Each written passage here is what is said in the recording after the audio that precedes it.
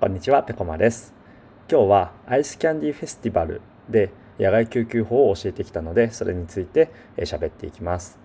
アイスキャンディーフェスティバルっていうのは八ヶ岳の赤岳高専で毎年実施されているイベントで、えアイスクライミングを中心にいろんな企業が協賛していろんなイベントを出展しているというようなものです。でその中で、え僕が所属しているウィルダネスメディカルアソシエイツジャパン WMAJ というところは野外救急法の体験会というのを開催していますのでそれの担当者として行ってきたということになります。え今日はねこのフェスティバル全体の様子だったりとかを、えお伝えする動画を作ったのでぜひご覧ください。はい今港口から歩き始めました。ちょっとね林道の様子わかんないんでね、まあ、チェーン履いて入るのもめんどくさいんで歩くことにしましたえー、これもう林道ツルツルでしたねこれはね、まあ、チェーン巻いてないと絶対無理な道でした。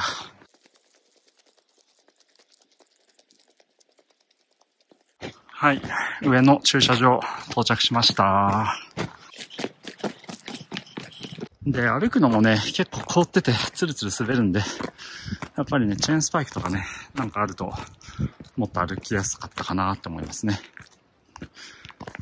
さあ、正面、阿弥陀今日は綺麗に見えてますね。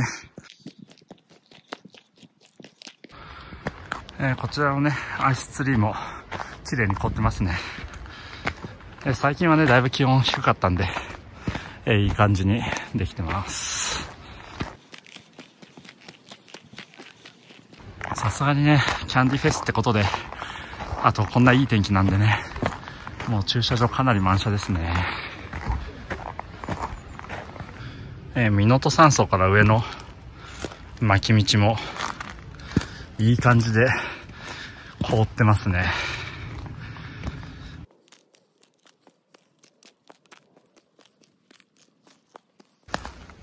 こりゃ下山はアイゼン履いたままの方が良さそうですね。つるつる滑ります。はい、園庭広場着きました。えー、長野県警の方も今日キャンディフェスでデモンストレーションがあるんで。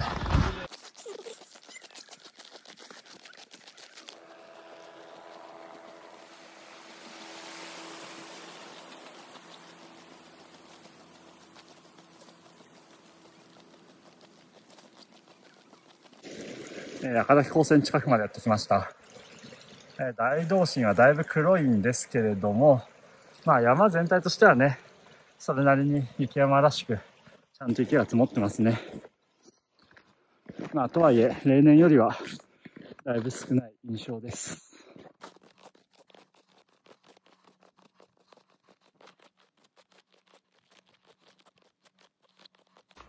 赤岳高専到着しました。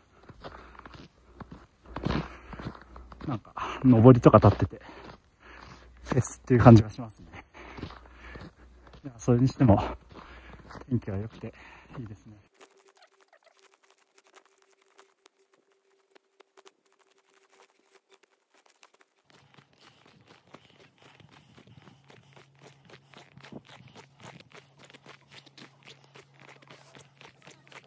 えっと、赤岳高専に着きました。えっと、赤岳高専の診療所ですね。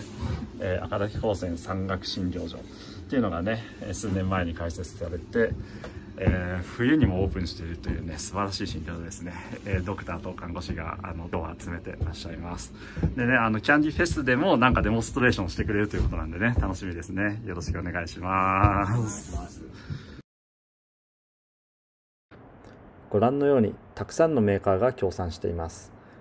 で2日目にはこれらのメーカーがさまざまなイベントを開催するんですけれども私たちメディカルアソシエイツジャパンも無料の体験会を開催いたしました、えー、各メーカーもこのようにブースを出してますこちらマムートのブースえっと、アルパインクライマーの、えっと、ティミー青木達也さんがいらっしゃいますね。えっと、どんな出し物とかイベントやるんでしたっけ？アイスクライミングの体験のイベントをやってます、ね。なるほど。あとはビーコンのあの創作のイベント。うん。まあ、マムートの製品を使ってビーコン創作したり、まあ、アイスクライミングしたりみたいな感じですかね。わかりました。楽しみです。あれ、千島先生。お疲れ様です。えっと千島先生がやってまいりました。山岳医の千島先生です。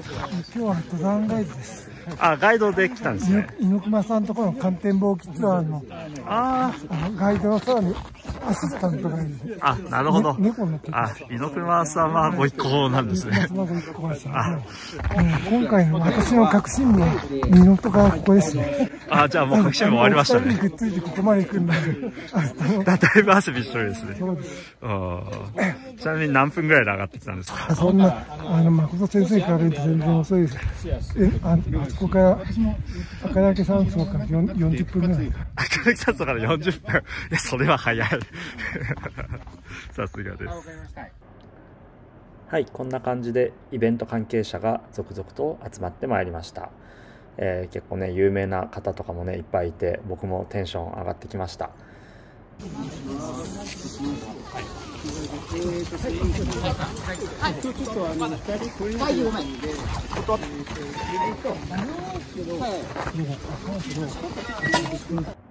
今時間はお昼頃なんですけれどもイベントは夕方3時頃から開始です。でこの県警の人たちとか高専のドクターたちがイベントでデモンストレーションやりますので、えー、その打ち合わせとかをしていました。えー、ただいまデモンストレーションの練習中です。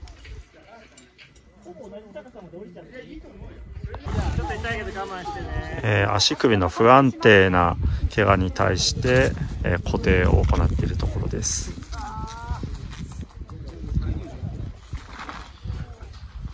バインダーです。はい。2つくらい持って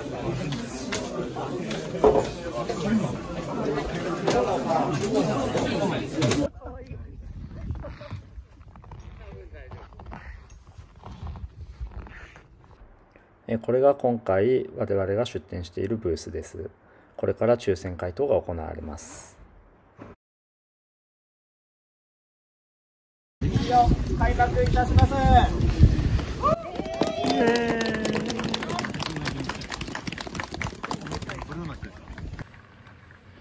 続きましてウィルダネスメディカルアソシエイツジャパン様よろしくお願いします。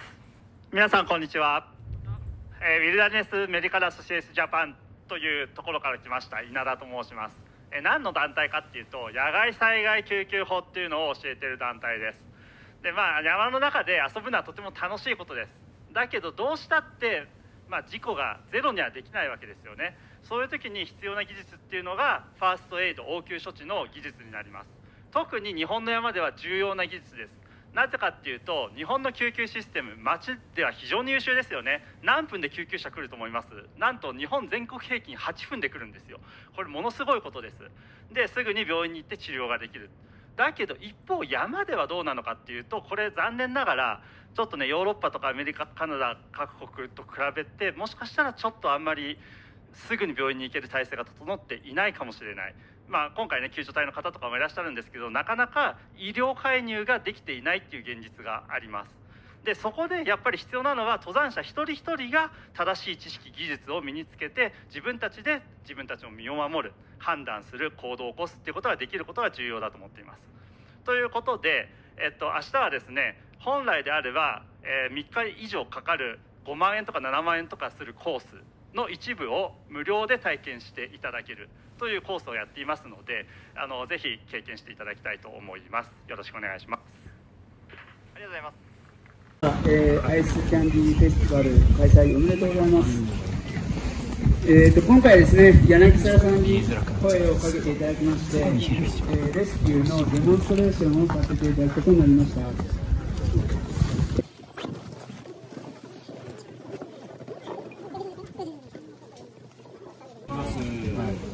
結構今ってスマートウォッチとかが結構流行ってるじゃないですかで自分で位置まで分かっちゃうみたいなのもあるんですけど今週のストレックは太陽発電して電波時計で動いて時計の時間がとにかく何もしなくても常に正確ですであと高度計の機能が入っていてそれは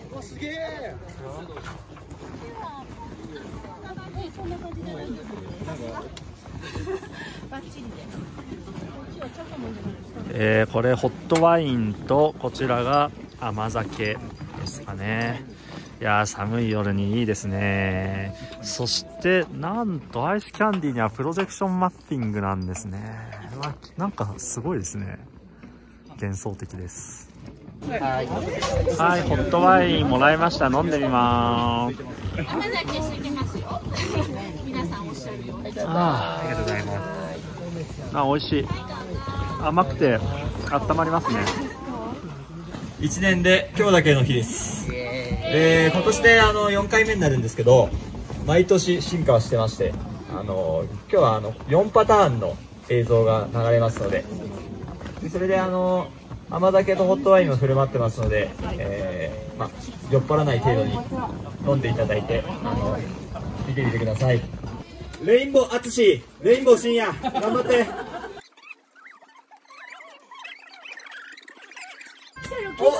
深夜迫ってきた。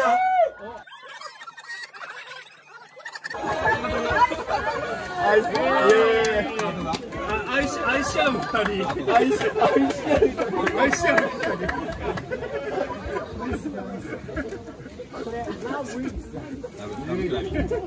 そういう知識が抜け落ちてる部分が結構あったんですねでそれにちょっとショックを受けましてでそういったことをちょっとなんとかお伝えする機会を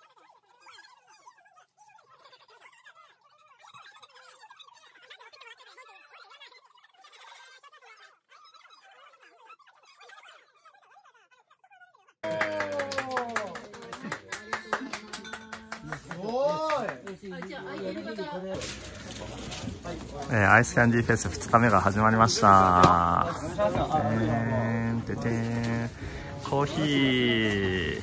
まだ準備中です。茅野市の豊平ってところで焙煎やってるウェブ制作会社のハッピと申します。今日はこのエチオピアのすごいベリーな感じのお豆と赤岳鉱泉で出してるのと同じドリップバッグを買って帰れるようにしつつ、えー、と飲んでいただくのは全部フリーでああフリーなんですね、たくさん豆持ってきてるのでぜひ飲んでくださいありがとうございます。えージャパンエナジーフードさんです。ジャパンラジューダです。イエティジェラートさん。イエーイ。あのー、元旧七ファテでも販売するということで、あの、北平さんの新しいお店でも販売ということで、クライマーも楽しめます。あと、六木か。六木でも、あ楽しめるということで。今日は赤岳高専さんと一緒に開発しましたオリジナルビールの赤岳高専ウィート IPO の販売を行っておりますそうですか？ビール屋さんみたい。いやいやいやビール屋ですから。ビール屋さんですか？いやいやいやビール屋だよっつってビール売ってる人みたいな重いっすよ加藤さんも重いっすよ。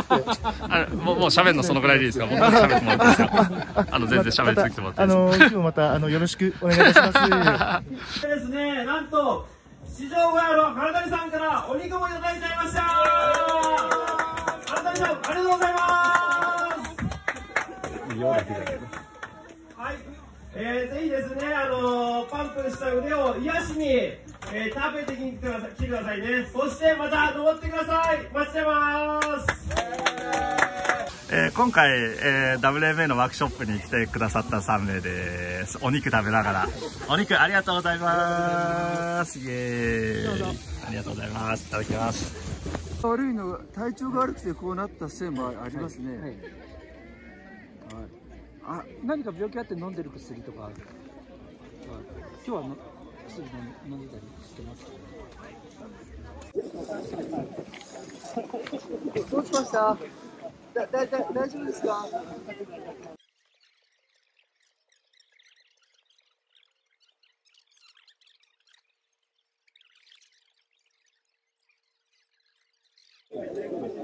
なんか結構背中が心配ですよね。だから背中も何とかして触ってみてください。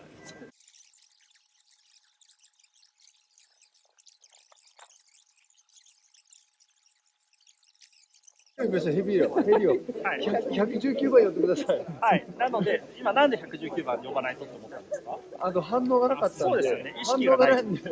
はい。脳が回ってない。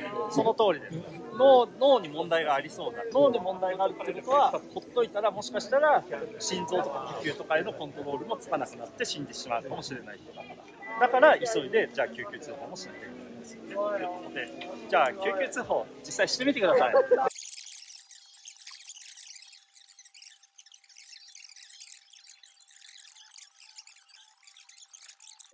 今この人はとりあえず第第2段階のところ命を一瞬で奪うものに対して問題があったっていうことが分かったんでとりあえず第一歩電話しちゃったらいいんじゃないかな。あ。ななんか。なんか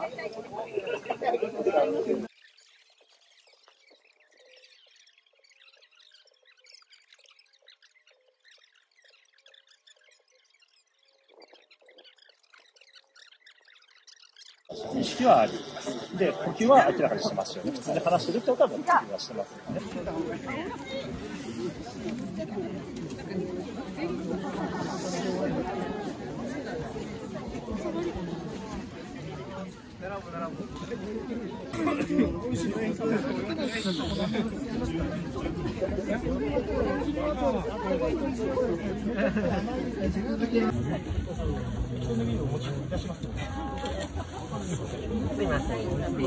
はい。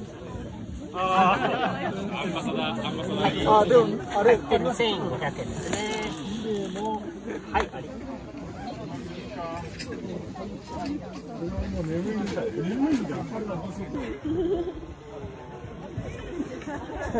いつまで振ってるよね。確かにこう、ホームページこうだった。こうなってる。ありがとうございます。お疲れ様でした。では引き続きじゃんけん大会といきたいと思います。最初はグー、じゃんけんぽい。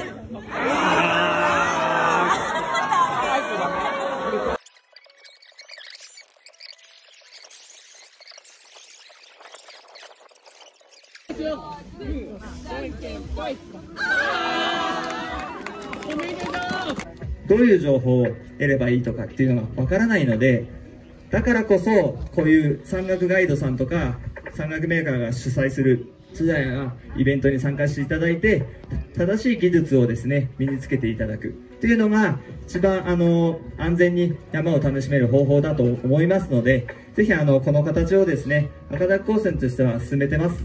家に帰るまでが遠足といいますか、あの、家に帰るまでですね、無事に降りてください。はい。で、くれぐれも、あの、警察とか診療所のお世話にならないように気をつけてください。はい。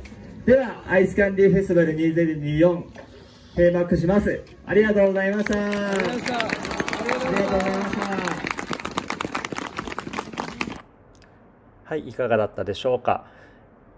えアイスキャンディフェスの様子をご覧いただきましたけれども今回ね僕は WMA の体験会ということで参加させていただきました、まあ、それ以外にもねいろいろなブースでいろんなツアーとか出していてねとても楽しい盛り上がるイベントですので、えー来年もやるはずですのでね機会があればぜひ参加してみてください。じゃあ今日はここまでにします。またね